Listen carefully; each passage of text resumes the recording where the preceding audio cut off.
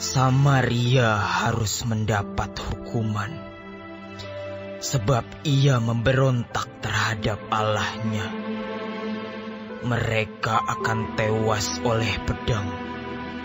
Bayi-bayinya akan diremukkan dan perempuan-perempuannya yang mengandung akan dibelah perutnya. Bertobatlah, hai Israel, kepada Tuhan Allahmu. Sebab engkau telah tergelincir karena kesalahanmu.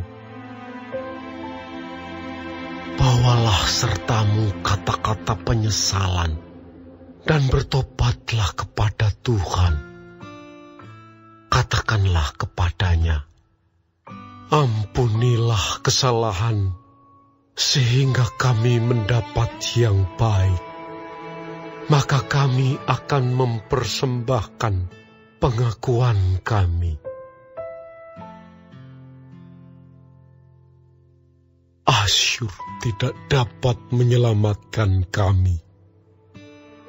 Kami tidak mau mengendarai kuda dan kami tidak akan berkata lagi, "Ya Allah kami," kepada buatan tangan kami,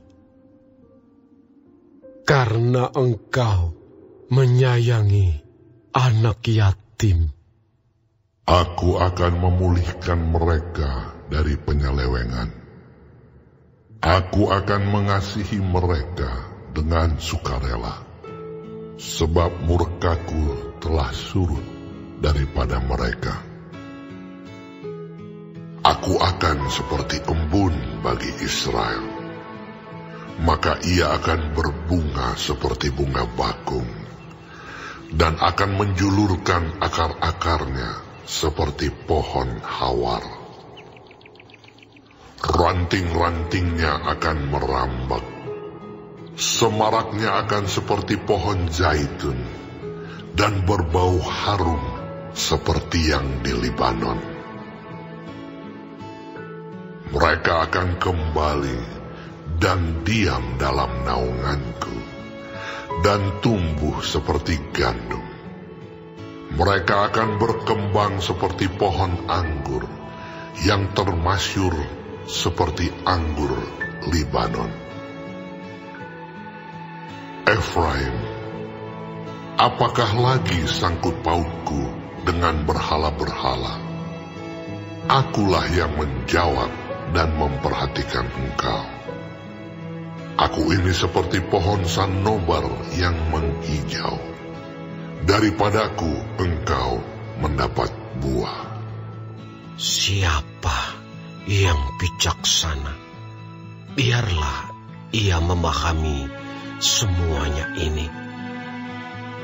Siapa yang paham, biarlah ia mengetahuinya. Sebab jalan-jalan Tuhan adalah lurus, dan orang benar menempuhnya. Tetapi pemberontak tergelincir